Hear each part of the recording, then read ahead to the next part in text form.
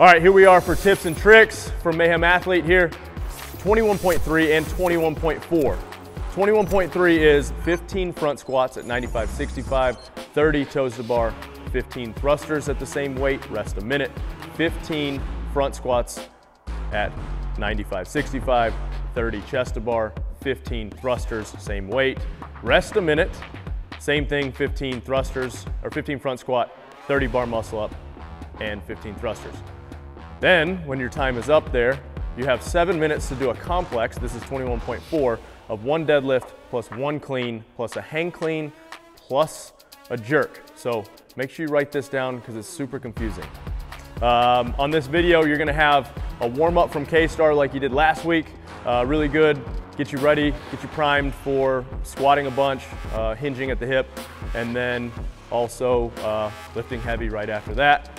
Myself and Jake are gonna talk through the RX workout, and then Tasia gonna talk through the no equipment and the foundations version. Come along.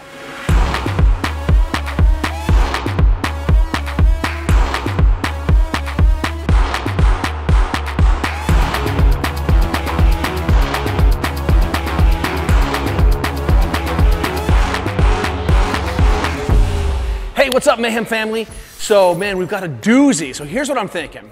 Uh, got a couple positions I want to prep on, and here I'll tell you my thinking, and a couple ideas to make those cleans a little easier overhead. So first of all, man, a lot of grip going on this thing, right? I don't think it's gonna be the limiting factor, but I think if you come off the bar, that's gonna cost you some time. So one of the things that's a mistake is if you haven't put enough time in gripping and getting yourself arms really warmed up because you're kind of saving it or you're worried about your legs, that can end up being a shocker. So what I would recommend is actually doing some rowing if you have access to it, jump roping if you don't. Now, long warm up is going to be key because I'm really interested in actually getting your legs pumped up with blood. That's actually one of the big deals here. There's going to be a lot of sort of demand on short lever quads with knees bent and in long lever. So we've got a couple pieces that we're going to prime for that. So as we go over here, for my pre-workout pieces, I'm thinking the hip capsule mob first, and that's just to make sure that we actually can squat and have access to that position, which is just resetting, and I'll walk you through that in a second. Second is double overhead band, just making sure that we're super primed and prepped, and just some active contract, relax, and range. Instead of just pressing there, we're gonna do some sort of play and just make sure that we have full access and it's effortless. And then again, hitting some anterior band distractions. So some long lever lunges to make sure that that hip is open. If you're trying to jump at the end and you can't open your hip because you've just closed it a whole bunch and you're feeling cooked, it's gonna limit you in being able to open the hip. So a couple ideas will coming in the transition just about getting your hips open and breathing. So notice that I'm interested in getting my legs and quads pumped up with blood. And I'd recommend even some short, heavy bike sets. I want your legs to be like swollen ticks. Take enough time to really recover eight to 10 minutes after you've had that, but I want, really want your legs to be juiced and, and not shocked. If you run into this workout with your legs shocked, chances are at the end it's not gonna feel like they wanna generate a lot of force. So that's gonna be tricky anyway. So again, row for grip. Okay, so let me show you the mobs are. So the hip capsule mob, if you've never seen it before, it's just basically on the knee, single leg, and then I want you to just play around with getting that hip set and then play with some different rotation pieces. So the idea here is to keep your weight going through the femur and to make it easier for you to close your hip, bring your knee to your chest or chest to your knee. And so what I'll do is just two minutes of just wobbling around, some isometrics here, playing each leg even just a minute or so. And what you'll see is that by reclaiming a good femur pelvis relationship, makes it a lot easier for you to bring that knee to your chest, which means it's a little bit less effort and you have more choice. Again, double band overhead means I'm just gonna throw something here. I'm gonna tell my brain, hey, get used to it. Thumbs up, and then look, just being able to wind back and forth, pull, and almost pull one arm down, push into here a little bit. And what you'll see is that it's just gonna make it easier for you to, to prime these positions. So this doesn't cost anything, the opposite of pressing overhead. But again, I can press down, get my lats on, hit some corners, so I'm a little bit more efficient in those backswing. And then finally, third big mob, we're not doing more than three ever, and these are the most important ones I think, is getting that hip open like we've done before and making sure that I have access to that hip extension in this position.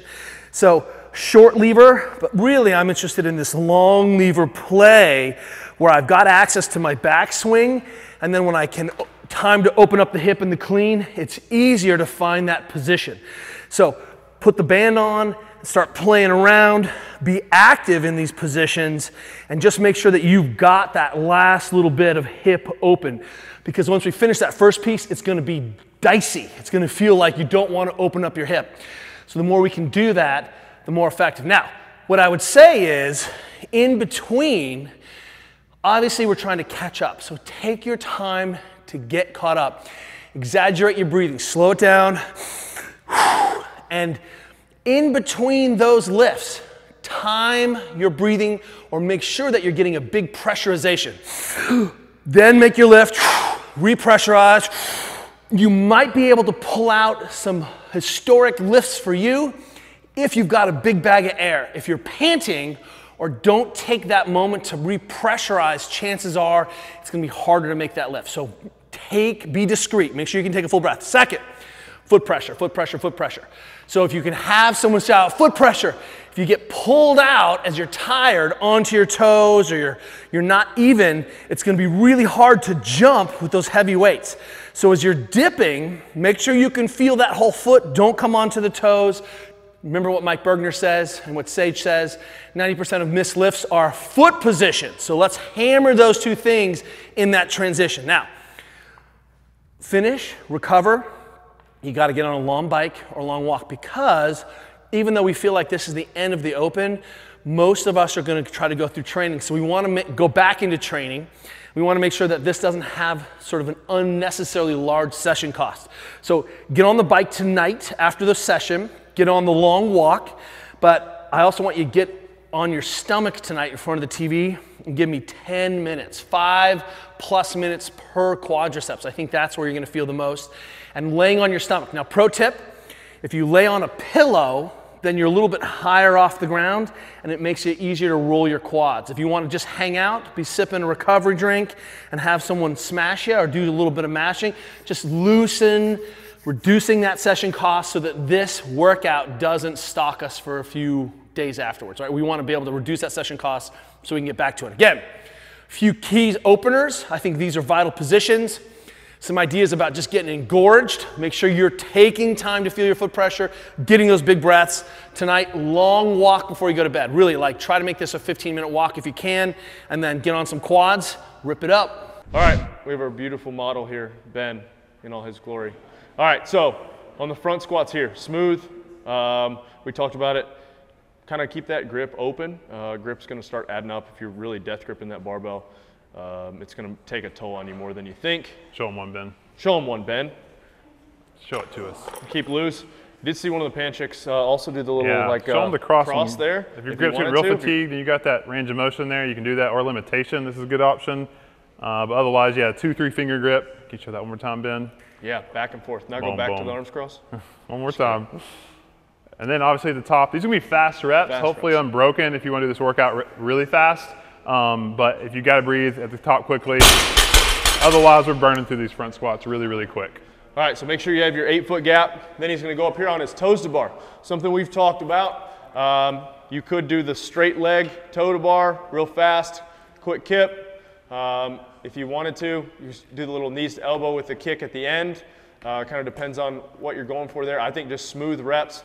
Um, speed is obviously king here, but you don't want to wear that grip out. We talked about it maybe one quick or even two quick rests. Um, these first two rounds, I think, with the toes to bar and the chest to bar are not where the workout is won um, because you get a pretty decent, you know, one minute rest to shake that stuff out. But, you know, take that time, I think, shake the forearms out, jump right back up. We talked about 18 12. I think Ted did 20 and 10. Um, back to the barbell.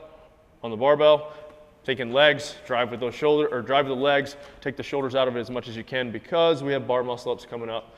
Um, keeping that grip nice and loose. Probably open hand grip the whole time. We like that, especially Suicide if you feel grip. safe with it. Yep. Show us, Ben. Like any thruster, obviously you want to keep your weight in the midfoot there. Don't get toesy. If you want to go heel, but really driving with the hips. Obviously, this can be a very shoulder intensive workout, so hopefully that bar is weightless by the time you totally stand up, just to save those shoulders as much as possible. If you're going fast in this workout again, sub 10, you definitely gotta keep the thrusters unbroken the whole time uh, for sure. Something Anderson talked about a little bit. She did the workout. Uh, she said her back got a little bit tight, so maybe think about wearing a lightweight belt. Um, keep it relatively loose. I wouldn't crank that thing down. It's not super heavy barbell, but it might help you out a little bit. Um, it might get in your way a little bit on toes to bar, so think about that. Maybe practice with that. Um, you get a minute rest, back to the front squats, same thing, um, whatever feels comfortable. On the chest to bar, um, being as smooth as you can, as efficient as you can. Um, widening the hands out is something that I've started doing recently just to um, improve the rate of the rate of speed on reps. Quicker reps, yeah. yeah. Also with shorter range of motion each time, so yeah. not doing quite as much work. Wide. I mean, do whatever is comfortable for you. I was just giving a little, that was my tip for the, and my you trick. see, Ben does a good job. Show a couple more, Ben. He's just falling through there at the end. So chest bar, if you're smooth at these, it's just falling Almost through these reps. gliding and touching that bar on the way down. You don't want to disrupt the movement by hitting your chest on the bar. Uh, it's going to throw you off and uh, make you really inefficient. So get really long on them too. Get yourself get far back so you can come through. That on the toes bar as well. Try not to break that kip with a bent knee. Try to stay back there as long as you can. Pointed toes, all these gymnasty people, uh, you for sure can do that. And think about that in your warm up to prime that in there. Um, like we talked about too, 18, 12, something like that. If 30 is even possible for you, I don't really think you'd do 30 um, in my opinion. Now, the 45 seconds you're shaking it out is not going to matter because you're going to make that up with the bar muscles uh, with the less fatigue. Yep. Back to the barbell. Thruster, same thing. You don't have to show thruster. We've already done that. Um, it's probably going to start hurting there, but you can't drop the barbell if you're yep. going to go fast. Yep, got to go through it. Um, smooth reps, rest a minute, and then it's the bar muscle up one. The bar muscle up one, I think, like we said, uh, we were talking about for top athletes, this is the separator, but also for um, any athlete, this yeah. is a separator. Uh, bar muscle up's what's gonna gonna determine your score here. Um, think efficiency. Think, uh, you know, if if the pull is what um, is going to fatigue on you first, then your dip or your your you're gonna get just over the barbell or over the barbell. Show one of those, bar. Ben, where you have a big dip. Big you're dip. gonna come over with the whole body. This is if it's harder for you to get a bar muscle up at all. Yep. You have a big lean over at the top. That's good. And then not getting as high. If your pull is good, but your press out is going to be uh, the limiting factor. Get that big kip, and you still have to pass through a dip, but you can pass through a little bit higher of a dip uh, when you do it. Nice. Whoa. Okay, or go do a killer. flip over the bar. There you go. Better. All right, so limit the amount of rest on this because this is what's going to bring it home. Um, but be ready to uh, pick that bar up to do 15 thrusters. 15 thrusters is going to be pretty difficult after doing all those bar muscle ups, but you got to kind of grind through it. Yeah, this is where you send it, and then whatever's left in the tank on the thrusters is what's going to be there. Feel good, Ben? Are you good with 21.3? You got anything else? He's going to kill it. 21.4. Right, so from there, as soon as he finishes and drops the barbell on the thruster, his time for 21.4 starts. Something we talked about uh, off camera is just do some squat cleans, maybe some jerks to warm up at your lighter weights. You don't have to actually start the complex in your warm ups. Uh, we saw Scott do it on uh, the announcement video. Uh, just get warmed up. When you feel like you're starting to get close to that weight, then you want to try to do an attempt. Uh, even if you, you know, you get through the, the squat clean or the hang, you do the clean first. If you're like, all right, I did the deadlift, I did the clean, maybe skip that hang clean and go to the jerk. Don't waste reps here. Um, seven minutes is a pretty long time, but you're pretty fatigued. Um, and then that back half seems to go a lot faster than that front half. So be thinking about that and be ready for that. So you're going to start there, loading the bar immediately. You'll change guys. You maybe go 135 to 185, totally depending on your weight. So Ben, he can either go straight into a clean and jerk warm up, or even do like a deadlift, hang clean into a jerk. If you have the um, change plates, the pound increments, you are allowed to do one pound increments. So half pound, half pound. Um, yeah, so have those, have those handy. Um, use them if you got them. Depending on the type of athlete you are as well, like me, I'm way more strong in the power because my squat kind of sucks, so I'm gonna power as long as I can. I'll be starfishing, don't necessarily recommend that, but uh, relative to your power clean, it's probably about the same as your hang squat clean, so you might be able to get away with at least power cleaning for a lot of the workout. Um, and then from what their weights were, these guys are clean jerking like 365 plus in the video of the Panchiks, but they only got what, like around 300? I think 311 and then 311 Scott, and, and then, then maybe 275 to 295. So if your max is 300, a great goal is probably in that 250 to 270 range. Ladies, if your max is around 200, you might want to get from the 160 to 180 range. Uh, first attempts are probably after two to three practice, and then real, real attempts probably like three about so, maybe one attempt every minute to minute 10.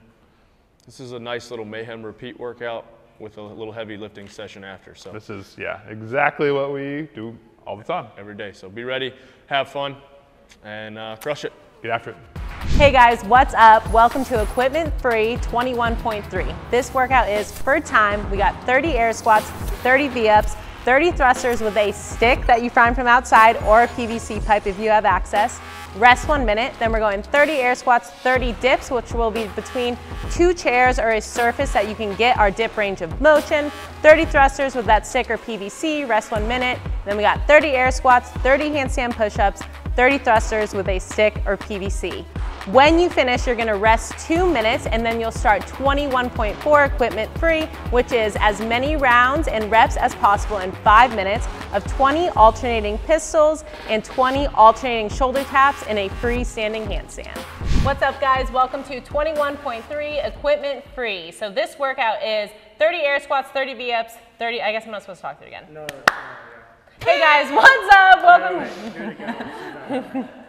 Hey guys, what's up? Welcome to 21.3 Tips and Tricks. So in this workout, we've got air squats and thrusters, and both of these movements are coupled in all three sets. We wanna make sure we're going pretty fast on these because this is the easier part of the workout. So Jake on his air squats, get a nice good feet position so he can move fast, get those hips open at the top, relax the arms as much as possible.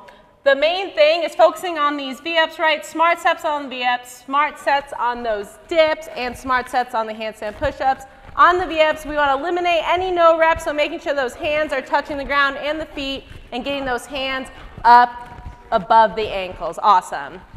The dips, these are definitely really difficult. So very hard. Break them up smart from the beginning, small sets to start, and then just chip away. It's easy to rest. If you need to, just set those feet down, take a quick shake out, and go back to another small set. Same idea going forward with those handstand push-ups. So our arms are definitely going to be a little bit fatigued by this point. So we're going to make sure we get our hands in the width of the box like normal. Utilize that kip position as he comes down to the head. He's gonna really use the hips and legs to fire up into that handstand push-up position. Smart sets here from the beginning. And when you get to that last set of thrusters, that's when you send it. From there, you're gonna rest two minutes before we go into AMRAP five minutes, 20 alternating pistols and 20 alternating freestanding shoulder taps. Tasia is going to demo this for sure. Uh, for the pistols, like everything else, you wanna get super warm, ankle range motion, hip mobility, check out our warm-up tips there. Uh, you can definitely hold your leg there if needed. It's gonna help for those that lack mobility, like me and Tasia with our ankles. So if you rock forward on your toes, that's okay. Just try to stay moving. You can shift your weight. Biggest thing, just don't get no reps by that extra leg coming back and hitting the ground there. On pistols, you wanna stay moving as smooth as you can because it's just a body weight movement and you're probably gonna be more limited by the skill with the freestanding shoulder taps. So, whew, Tasia, let's see what she got. So she's freestanding, boom, there. There's probably a lot of people, you might get two or three attempts at a time. Just try to get some good reps before you have to come back down. This isn't something a lot of people are practicing all the time. People do a lot of handstand walking on their hands on the wall, but not necessarily a ton of shoulder taps. With that, really, really fast taps is what you want. Be safe there. Just have a game plan for if you need to bail coming back to the feet, uh, stay moving as quick as possible, obviously, to get those reps.